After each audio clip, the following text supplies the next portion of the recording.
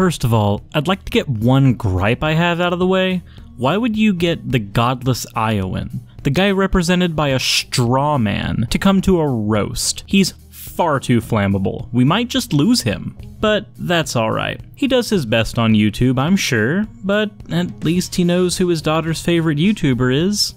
Oh, right. It's not the godless Iowan.